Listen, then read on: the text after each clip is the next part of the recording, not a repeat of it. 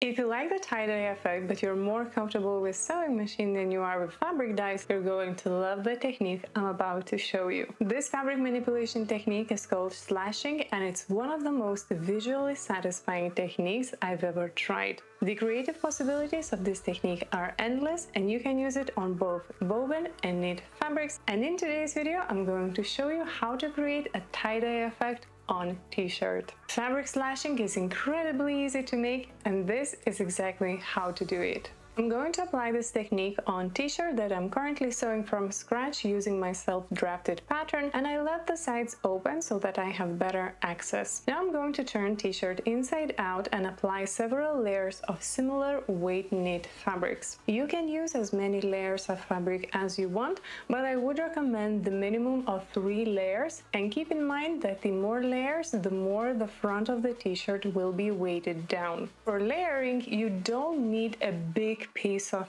fabric but the key here is to use different color fabrics so this is the perfect technique for fabric scraps. After all layers are put together I'm going to base stitch around the perimeter so that on the right side of the garment I can see where my layers are positioned. I also added a cross base stitch in the center just to keep the layers from shifting while I'm sewing and marking. In this step, while we sandwich all the fabric layers, you want everything to lay very nicely flat, so make sure to do this technique either on a table or the floor, anywhere you want, as long as it's a flat surface and you can position your fabric completely flat. On the right side of the t-shirt, I'm going to mark the middle line which will help me position drawing more accurately. From a thicker paper, I drew a circle which is a bit smaller than my fabric layers. I positioned the circle to go right in the middle of the t-shirt and drew around using a chalk. From the same template, I cut a smaller circle and drew around that too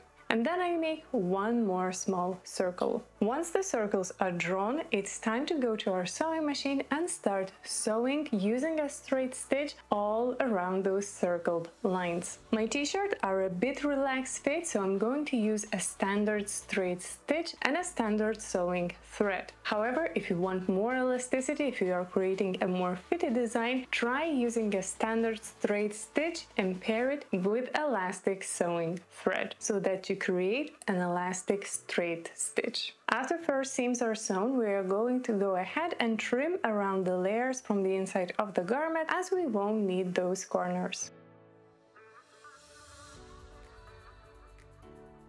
The next step is to mark other lines that we need to sew and this will largely depend on the design that you want to create. I'm marking a few lines to go through the center of the circles and then I'm drawing a few extra lines at the top. In the tie-dye method, there's a lot of geometry and play on geometry, so I'm trying to keep that in my design as well. Now on my sewing machine, I'm going to sew along those straight lines we just drew. Here you don't want to start and finish the seam with the back stitches because it will create a very noticeable beginning and end of the seam. Instead, leave long thread tails at the beginning and end of the seam, bring those thread tails to the garment inside and tie knots, or if your sewing machine has a special stitch that begins and ends seam by making a few stitches at the same spot and tying knots, this is a moment you want to sew using that stitch. After all the lines are sewn, this is how our garment looks now. And now let's go on to the most tricky part, which is slashing. In this step, you want to be using very sharp small scissors so that you can easily cut through multiple layers of knit fabric. When slashing, just make sure you're not accidentally cutting through the bottom layer as you want to leave it uncut. In this step, when I'm cutting through my fabric, when I'm slashing, I'm positioning my hand underneath the fabric and I'm kind of feeling the bottom of the scissors. So just making sure that I'm not cutting through that bottom layer. Depending on your design, cut either in the middle between two seams or close to one of the seams, but just make sure to not cut through any seams you sewn as it will start to fall apart. after cutting through all the lines you need, your design is slowly starting to reveal itself. The final step is going to fold and sew the design, which we're going to do on a sewing machine. The layers will be folded into different directions, creating a different design. On my sewing machine, I'm starting at the center and here I'm folding cuts towards the seam and sewing right through the middle. Then I'll fold another cut to the opposite direction and sew again. Notice that my presser foot raises after every stop and if your sewing machine has this function, it will be very handy in this project. In this part of the design, I'm sewing in the circle folding each cut before sewing. In the next row of the design, I'm going to fold each cut upwards and sew each individually with a short seam. I'm going to do that until every cut in this row is finished. In the third row of the design, I'm going to fold all cuts to one side and sew them all in the middle. My seam is going right through the center of each fold, but if you want to create different effects, you can sew folds in different parts, not only the center. In this step, really take time to admire the design and enjoy the process because this is hands down the most satisfying part of the process. The design is starting to gain shape and starting to reveal itself and our efforts are finally paying off. So really stop as many times as you want to admire your creation and just soak in this beautiful, beautiful design.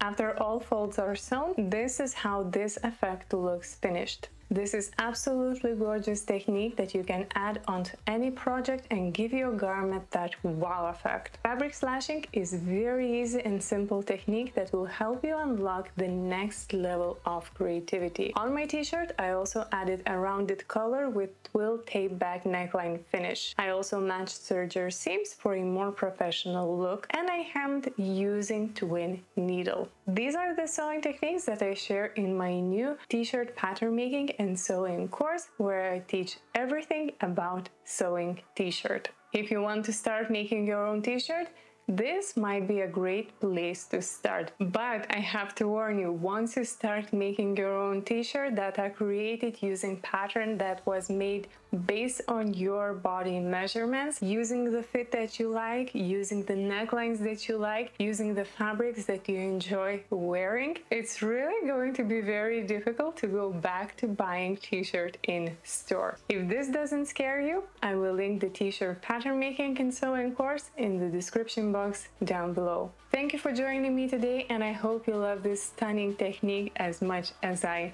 did. Thank you for watching and I will see you next time. Bye!